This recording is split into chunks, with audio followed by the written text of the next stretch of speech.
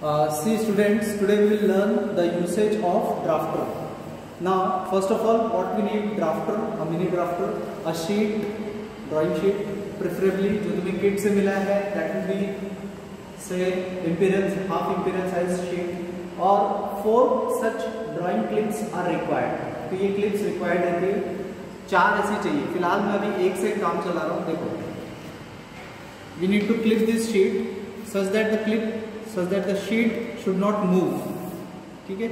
ऐसे चार शीट्स चार क्लिप्स तुम लगाओगे तो बेटर रहेगा। नाउ देखो this is your mini drafter तो ये मिनी ड्राफ्टर है, इसका यूसेज करना है आपको हमें किट में से मिलेगा।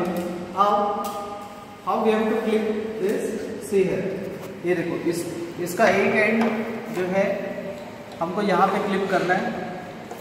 On the left side most probably on the left side उसको क्लिप करना है। ये पोर्शन अंदर ले जाके मतलब टेबल के अंदर फिट करना है और इसको ऊपर से नट इसका जो है, उसको टाइट कर देना है। और राइट नाउ इसको अच्छे से टाइट करना है ताकि वो मूव ना हो। ये हिले ना, ये फुल टाइट करना है।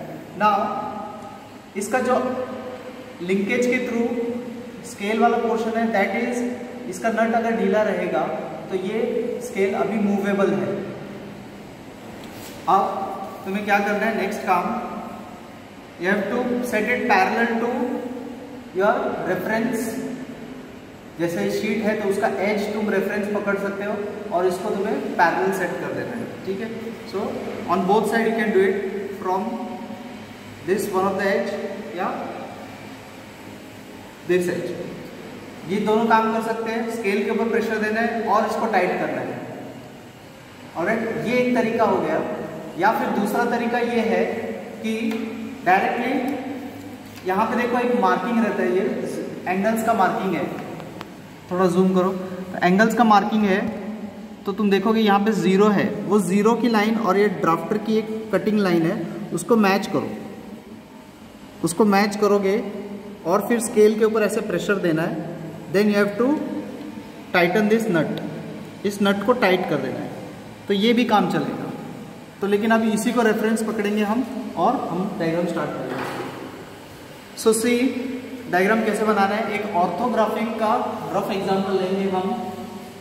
Say I have this diagram ये थ्री डायग्राम है, इसका हम ऑर्थोग्राफिक व्यू बनाएँगे। Taking the front view from your side ठीक है? तो तुम वहाँ पे खड़े हो तो ये तुम्हारा फ्रंट व्यू हो गया। और this will be your left side तुम्हारी साइड से तुम्हारा लेफ़्ट हैंड किधर आएगा? इस साइड आएगा। तो यहाँ से उसका